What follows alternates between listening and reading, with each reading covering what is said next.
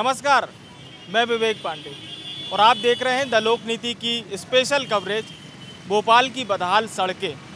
दोस्तों, साल दर साल, हर साल बदलते जा रहे हैं, पर नहीं बदल पा रहा है तो भोपाल के लोगों का वो दर्द, जिसे वो रोज़ जी रहे हैं। वो जी रहे हैं इन सड़कों में और वो रोज़ अपने काम के लिए जब निकलते हैं तो इस तरह के गड्ढों वाली सड़कें उनका इंतज़ार करती है।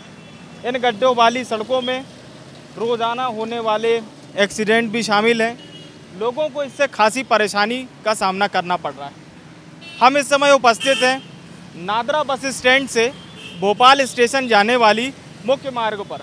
और आप मुख्य मार्ग का हाल साफ़ तौर पर देख पा रहे हैं कि किस तरह से लोगों को परेशानी का सामना करना पड़ रहा है। और इन गड्ढों में जो ऊपर है, ये ज़ीरो डस्ट डाली गई है।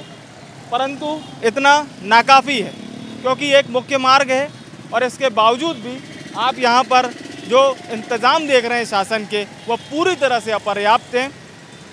चलिए हमारे साथ कुछ और लोग हैं हम उनसे जानेंगे कि किस तरह से ये लोग रोज़ इस तरह की समस्या का सामना करते हैं। आपका नाम बताइए। रिंकू शर्मा। अच्छा। शर्मा जी ये बताइए कि ये जो सड़क में इतने गड्ढे हैं ये कितने दिनों से इतनी खराब है सड़क? दो तीन महीने से गड्ढे यहाँ पर हैं। हम खुद मेहनत करते हैं तो मलबा उठा उठा के हमने गड्ढे भरे हुए हैं। हमारे साथ वाले हैं उनने गड्ढे भरे हुए हैं। यहाँ पर कोई सरकार कोई गड्ढा नगर निगम कोई कुछ नहीं करती है। अभी जनप्रतिनिधियों ने सुध ली इसकी? नहीं ली। लेडीज़ गिरती हैं यहाँ पे बच्चे गिरते हैं लेडीज़ गिरती हैं। हमने खुद गड्ढे के मलबा डाला है हमने यहाँ पे। मगर आप चूँकि यहाँ पर रहते हैं तो आप बेहतर बता पाएँगे कि यहाँ पर जो है वो एक्सीडेंट वगैरह हुए? कित- बहुत बार हुए एक बार दस बारह बार हो चुके। अच्छा। हाँ यहाँ पर पानी भी पिलाया लोगों को हम उठाते भी हैं गिरते हैं तो उठाते हैं बैठाते हैं पानी पिलाते हैं उनकी हालात भी रहते हैं एंबुलेंस तक बुलवा के एक सौ आठ फ़ोन लगा के हॉस्पिटल भी पहुँचाते हैं। तो ये शर्मा जी थे और इन्होंने बताया कि किस तरह से इस सड़क में हो ये जो गड्ढे हैं इसकी वजह से कई तरह की दुर्घटनाएँ भी हुई। और ये आप जो है नगर निगम का प्रबंध देख रहे हैं ये ज़ीरो डस्ट जो है वो नगर निगम द्वारा डाली गई है? भंडारा होने तो डाले भंडारा भी डालते क्यों डाल रहे हैं? यहाँ पे भंडारा चालू होने वाले इस वजह से मलबा डाल रहे हैं तभी तीन महीने से गड्ढा पड़ा था कोई कुछ नहीं डाल रहा था हमने डाला हुआ है। ये नागरिक है ये यहाँ रहते हैं और इनसे बेहतर कोई नहीं बता सकता आज यहाँ पर भंडारा टेंट लग दिया कल परसों भंडारा चालू होने वाला है तो ये तो मलबा ही डाल रहा है। आज यहाँ पर भंडारा है? आज नहीं मतलब चालू इसलिए? है, है। यहाँ पर ये ज़ीरो डस्ट डाली जा रही और ये इंतज़ाम करे जा रहे हैं। इसके अलावा शासन ने सुध नहीं ली है नगर निगम सुध नहीं ले रहा है लेकिन सुध लेने और जनता की बात जनता को दिखाने के लिए हम ग्राउंड ज़ीरो पर आ चुके हैं। दलोक नीति की पूरी टीम ग्राउंड ज़ीरो पर आ चुकी और कितना खासी तौर पे परेशानी का सामना करना पड़ता है क्योंकि ये मुख्य मार्ग है। ये जो पूरी सड़क का हिस्सा है लगभग आधे हिस्से के बाद ये गड्ढा शुरू हो जाता है। हमारे साथ कुछ लोग हैं मौजूद हम उनसे जानेंगे कि कितना समस्या का सामना करना पड़ता है इन खतरनाक गड्ढों से। आप बताइए बड़े भाई मोहम्मद जाहिद खान। जाहिद भाई ये बताइए ये गड्ढा कब से है यहाँ पे? ये तो एक महीने रहता है बाकी बारह बारह महीने यही हाल रहता है इसका। बारह महीने यही हाल रहता है।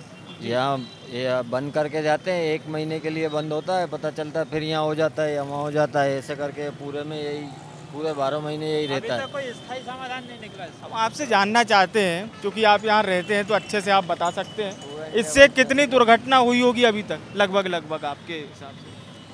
यहाँ पर? अरे वो तो ये समझ लीजिए दुर्घटना क्या? क्योंकि अभी दिन का समय है गड्ढा दिखाई दे रहा है। लेकिन रात में जैसा कि हम देख पा रहे हैं यहाँ पे स्ट्रीट लाइट वगैरह भी नहीं है।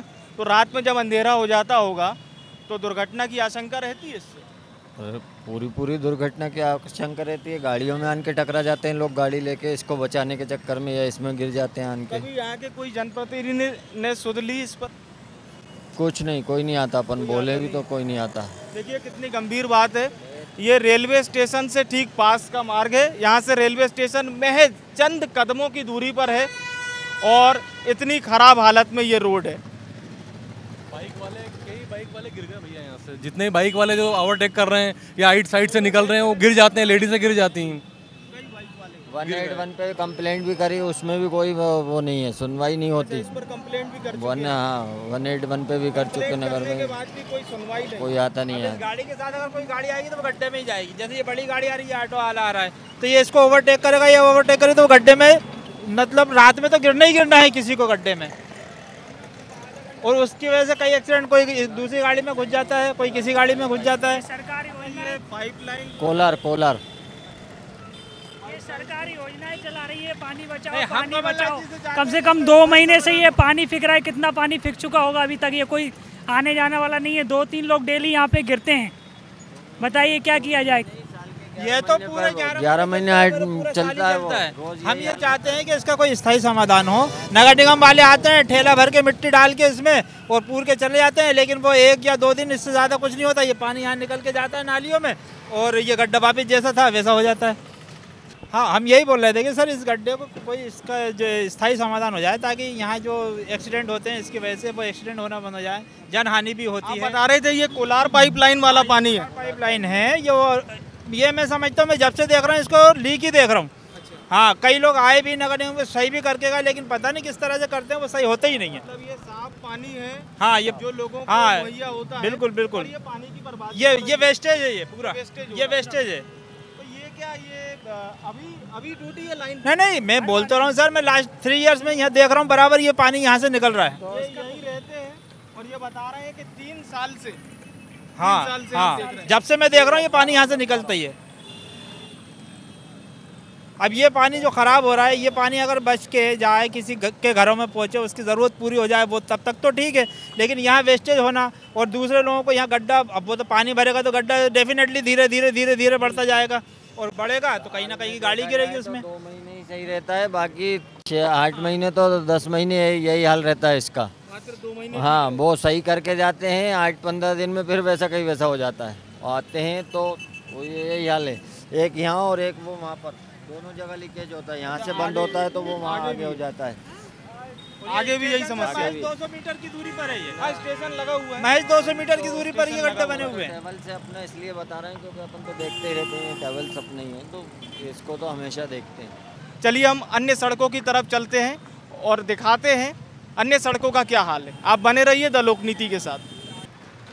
राजधानी की एक और अन्य प्रमुख सड़क पर हम आ चुके हैं। ये प्रभात पेट्रोल पंप चौराहा है और आप देख सकते हैं कितने ज़्यादा यहाँ पर गड्ढे हैं। यहाँ पर से जो भी वाहन गुजर रहे हैं और जो भी लोगों को जितना परेशानियों का सामना करना पड़ रहा है, इसको आप साफ़ तौर पर वीडियो में देख सकते हैं। आधे आधे फिट तक के यहाँ पर आपको गड्ढे साफ़ नज़र आ सकते हैं और लोग रोज़ जो है इन्हीं परेशानियों का सामना करते हुए यहाँ से निकलते हैं। हम आपको बता दें कि ये शहर का बहुत ही प्रमुख और बहुत ही व्यस्त चौराहों में से एक है। रेलवे स्टेशन जाने के लिए भी यहीं से गुज़रना पड़ता है। रायसेन रोड भी यहीं से लग जाती है और आप लोगों की परेशानियाँ देख रहे हैं इस वीडियो के ज़रिए कि लोग किस तरह से परेशानियों से दो चार होते हैं। यहाँ के कुछ स्थानीय लोग हैं, उनसे जानने की कोशिश करते हैं इस सड़क के बारे में। आप बताइए सड़क कब से इतना ख़राब है? ये तीन चार महीने होगा तीन चार महीने से करीबन सड़क के यही हाल है। अच्छा। यहाँ से लेके आप देखें बोगदा पुल तक पूरे सड़क इतना ख़राब हो रहा है क्या आने पुल होते हुए हम लोग आ रहे हैं तो वहाँ से देखा था हमने काफ़ी सड़कें ख़राब है। ये बताइए कि दुर्घटना कितना होती रहती है बहुत ज़्यादा दुर्घटना होती रहती है साहब क्योंकि आसपास से बिल्कुल गाड़ी निकालने की जगह इतनी ज़्यादा घेरे हो गए हैं गड्ढे कि गाड़ी से आदमी डिसबैलेंस हो जाता है। तो बहुत से बहुत से हादसा बढ़ते जा रहा है। इस बात पे ध्यान दिया जाए क्योंकि क्या है थोड़ा बहुत नहीं बहुत लंबा रूट ख़राब है। थोड़ी बहुत जगह हो तो चलो आदमी की समझ ले। बाकी बहुत लंबा रूट ख़राब है आप इस बात पर गौर किए जाए। बहुत दिनों से समस्या के अंदर जूझ रही है पब्लिक यहाँ पर। हमें भी रोज़ाना का यहीं से आना जाना है बहुत परेशान होते हैं इस चीज़ के अंदर। दादा ये बताइए सड़क कब से खराब हुई वाली? ये सड़क बरसात के बाद ही खराब हुई है। पानी गिरने से अधिक खराब हो गई। बहुत गड्ढे हो गए पब्लिक गिरती है। लेडीज़ से भी गिरती है जेंट्स भी गिरते हैं। एक्सीडेंट भी होते हैं। ये प्रभात चौरा है रायसेन रोड यहाँ से बोगदा पुल तक रोड खराब है पूरी। क्योंकि आप तो दिन भर यहाँ रहते हैं देखते होंगे। तो दुर्घटना वगैरह भी होती है होती है दुर्घटना भी होती है। हैं? होती है। अच्छा। आधे आधे फिट के गड्ढे हैं। हाँ जी।